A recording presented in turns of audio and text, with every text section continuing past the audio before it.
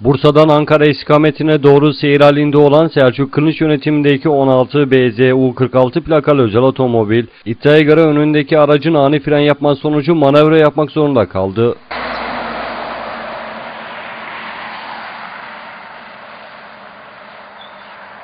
Sürücüsünün ani manevra yapmasıyla birlikte direksiyon hakimiyetinin kaybedilmesi üzerine özel otomobil alt yola uçtu.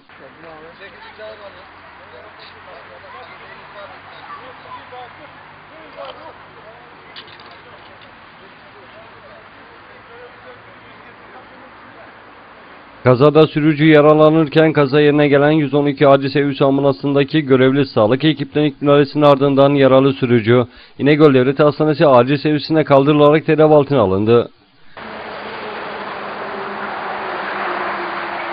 Kazayla ilgili soruşturma ise sürdürülüyor.